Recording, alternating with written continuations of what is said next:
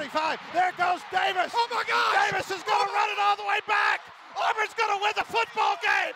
Auburn's going to win the football game. He ran the miss. College and a full time job usually don't work well together. And usually, 100,000 people don't watch you work. But that is the situation we put student athletes in. The NCAA earns around $1 billion in revenue, while providing around $3.5 billion in athletic scholarships. While large, those numbers don't convey the full picture. On average, a regular student athlete would only earn about $20,000 in scholarship money. Considering how expensive college is, is the NCAA really doing enough to support their athletes?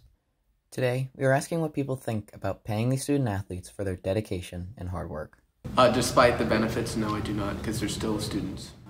I don't think the double NCAA. Wait, NCAA athletes should be paid because um, they're kind of they're already paying to go to a college and play for a sports team. So like, I don't really see the point in them getting paid.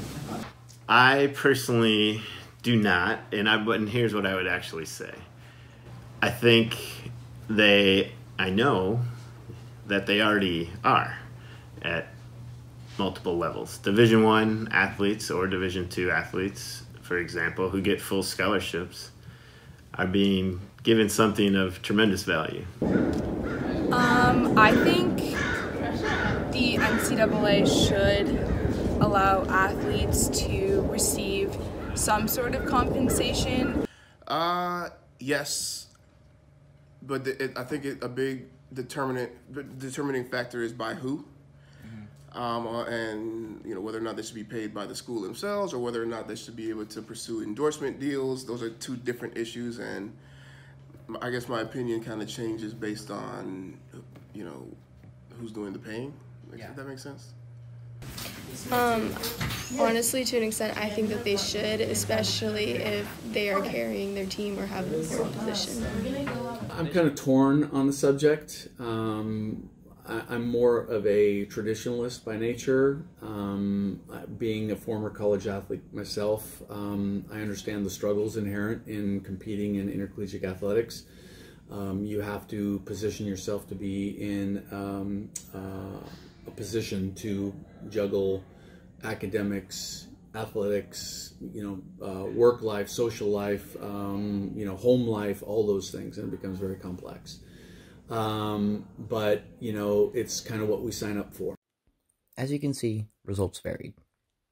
But we can split the main answers into three groups. No, yes, and yes, but depends on who's doing the paying. Now, let's take a look at some of the reasonings behind these three groups. First, we'll start with no. Um, I personally don't. I'm personally not in favor of um, intercollegiate athletics, intercollegiate athletes being paid um, for their performance. Um, and the way I understand Senate Bill 206, it's that student athletes can use their likeness um, and be paid through commercialism. Um, you know, the whole EA Sports thing and the NC2A um, gaming uh, system and all that. I think it puts um, it, it turns intercollegiate athletics from a passion into a business. Uh, in terms of um, uh, side money, no, but I think I think the scholarship, if they are lucky enough to get one, uh, is uh, more than sufficient. Yes, so I think Mhm. I think scholarships, yes. I think uh, other payments, no. In turn, um, you know, we have a lot to offer them, and like I said, we, they do get a lot already with scholarship money, academic support, and overall experience. They make very good points. Maybe scholarships are enough. After all, a free education is nothing to scoff at. But to understand the full picture, we must look at the people who agree that they should be paid for their play. I think that they should, especially if they are carrying their team or have an important position. But by far one of the largest groups were the yes, but depends who's paying them.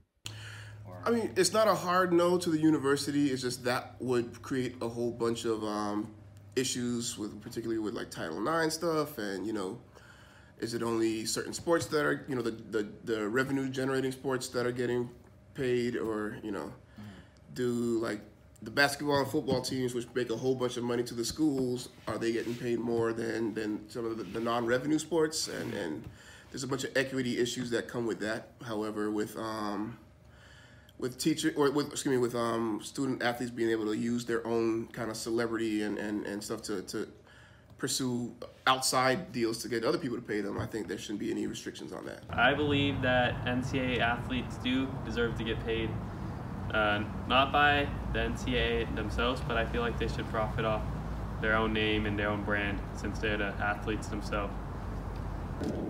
Um, I think the NCAA should allow athletes to receive some sort of compensation for um, their efforts, I guess.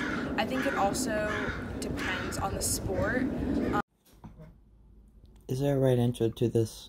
No. All points have merit and ups and downs of their own. But, while this continues to be debated, and how it would work still remains to be seen, we can continue to enjoy the sports that we love and the memories that come with them. have won!